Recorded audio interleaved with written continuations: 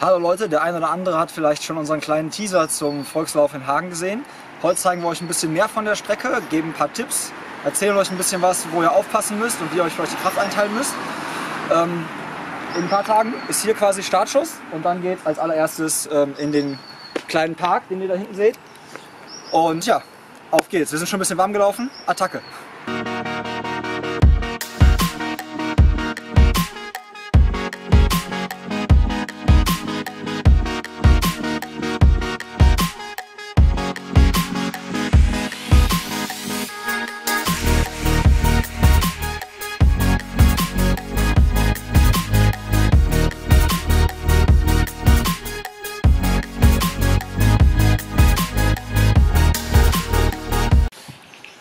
Seht ihr noch so schöne gelbe Pfeile, die zeigen euch den Weg. Ähm, zu diesem Zeitpunkt des Rennens sind wir alle auch noch beisammen. Das heißt also, die 10 Kilometer und die Halbmarathonis sind hier noch zusammen.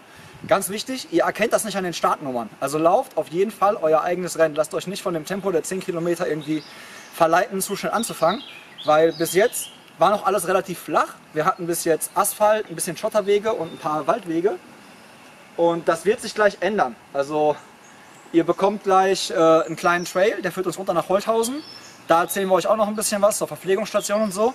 Aber ganz wichtig, bis hierhin immer auf die gelben Pfeile achten und äh, euch nicht irritieren lassen vom Tempo der anderen.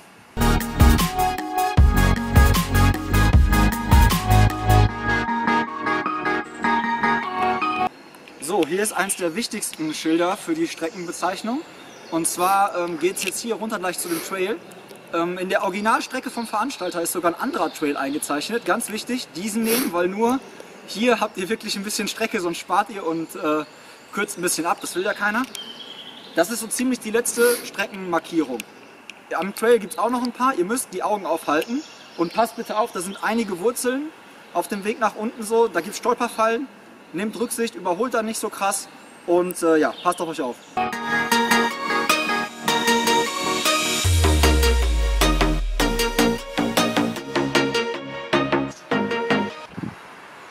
So, bis jetzt fragt euch wahrscheinlich, schnelle Strecke, richtig geil, nur bergab und flach. Das ändert sich jetzt hier.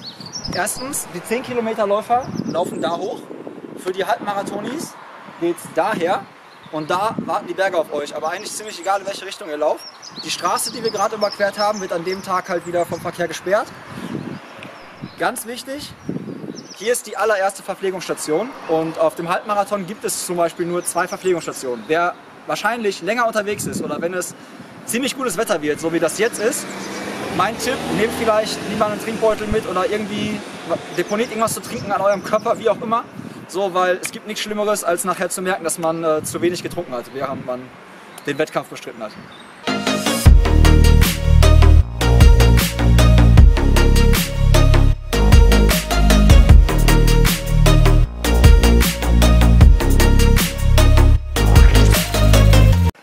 So, ihr merkt, äh, ich komme langsam auch ins Schwitzen.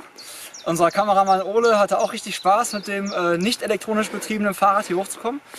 Ähm, wir haben euch, glaube ich, nicht zu viel versprochen. Der Berg ist mit Vorsicht zu genießen, weil er erst hinten raus so richtig steil wird. Also sobald ihr dieses kleine Häuschen auf der rechten Seite seht, ab da wird es nochmal richtig steil. Also nicht freuen und Gas geben, sondern lieber äh, mit bisschen Respekt an die Sache herangehen. Ihr lauft dann nicht weiter bergauf, sondern hier links rein, bis ihr... Äh, Hallo Dame. Bis ihr zu einer Schranke kommt, dann geht es erstmal ein bisschen flacher weiter. Aber der nächste Berg äh, wartet schon auf euch. Wir suchen übrigens für die Halbmarathonstrecke noch ein paar fitte Mountainbiker, die Bock haben, vielleicht den ersten Mann oder die erste Frau oder von mir aus auch ganz viele Leute dahinter äh, mit dem Fahrrad zu begleiten, weil ab jetzt wird die Streckenausschilderung ein bisschen weniger und äh, da hilft es den Leuten einfach, wenn sie wissen, so sie können sich auf den Fahrradfahrer verlassen und er kennt den Weg.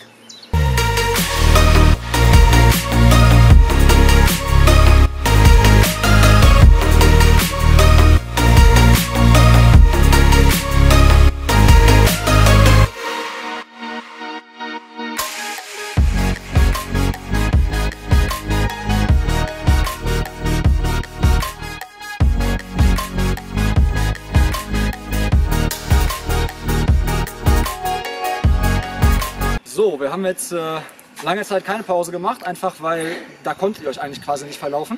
Jetzt ganz markanter Punkt an der Strecke. dieser Bauwagen. Ich hoffe, die lassen den stehen.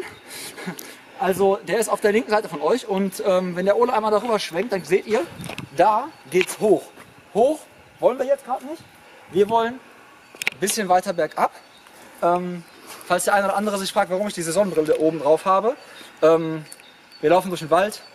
Äh, es blüht gerade so im Mai und es fliegen viele Pollen rum und ähm, deswegen mein kleiner persönlicher Tipp an euch, Sonnenbrille aufsetzen, dann kriegt ihr das Ganze halt nicht so in, in die Augen oder auch die Insekten nerven euch dann einfach nicht so. So,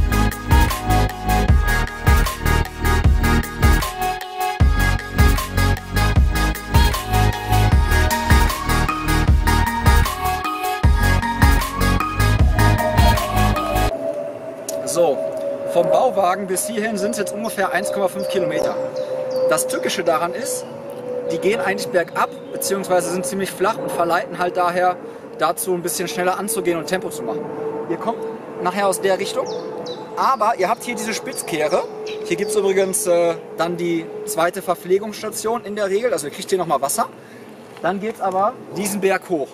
Und äh, meine persönliche Meinung ist, der ist schlimmer als der erste Berg, weil ihr kommt hier mit Tempo rum, es geht direkt ziemlich steil an und es ist halt vom Untergrund kein Asphalt, so wie beim ersten. Das heißt also Kraft einteilen, das Ding zieht sich ziemlich lang, werdet ihr gleich sehen. Noch ein kleiner Tipp von uns, bei der Schuhwahl, ihr seht, das ist hier ziemlich grob alles, ne? also ziemlich viele Steine. Äh, zieht auf jeden Fall Schuhe an, die ein bisschen Profil haben und vielleicht auch ein bisschen gedämpft sind. Also nicht unbedingt den Rennsemmel, den ihr normalerweise irgendwie beim 10 Kilometer Straßenlauf anzieht oder so, weil ähm, das kann sich hier rächen, gerade wenn es einen Tag vorher äh, mit Regen anfängt oder so.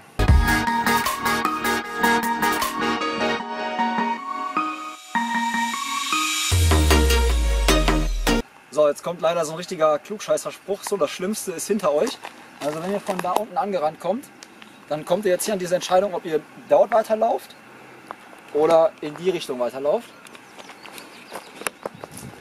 Und beide Wege führen ins Ziel, aber der, ihr müsst auf jeden Fall dort rechts weiterlaufen. Sonst äh, kürzt ihr wieder um ein paar Meter ab und das wäre halt unfair den anderen gegenüber.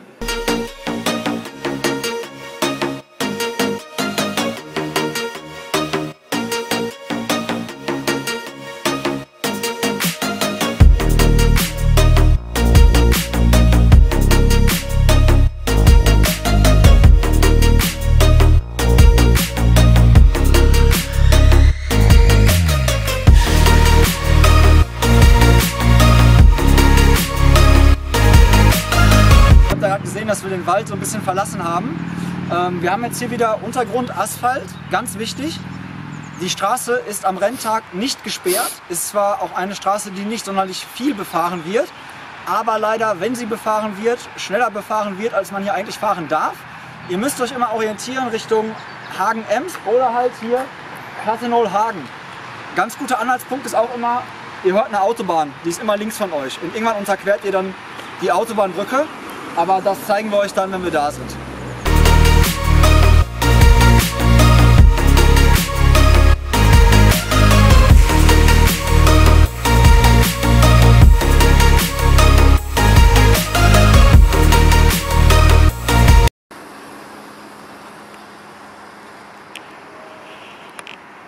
So, falls ihr euch fragt, warum ihr euch den ganzen Scheiß antut, ich würde sagen, der Ausblick alleine ist schon mal so ein, so ein Stück Genugtuung für den Tag. So, euch liegt Hagen quasi zu Füßen und ihr müsst das Ding nur nach Hause laufen. Also die letzten Kilometer gehen eigentlich jetzt nur noch relativ flach zu Ende.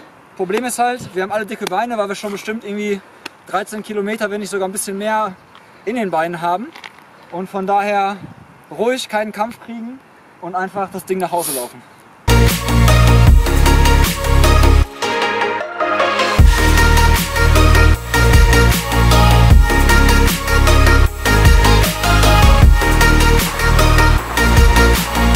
Ole hat euch gerade gezeigt, wo ihr herkommt.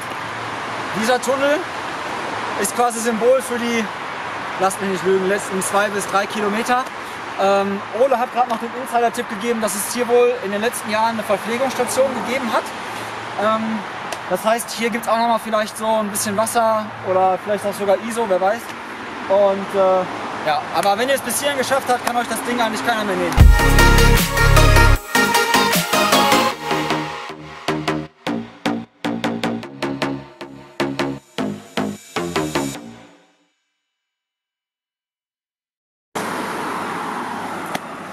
So, wir haben es geschafft, wir sind im Ziel. Ähm, an der Laterne hinter mir wird sich dann Christi Himmelfahrt das Ziel für den Volkslauf in Hagen befinden. Und ja, ich hoffe, wir sehen uns am Start und vor allen Dingen auch nachher im Ziel.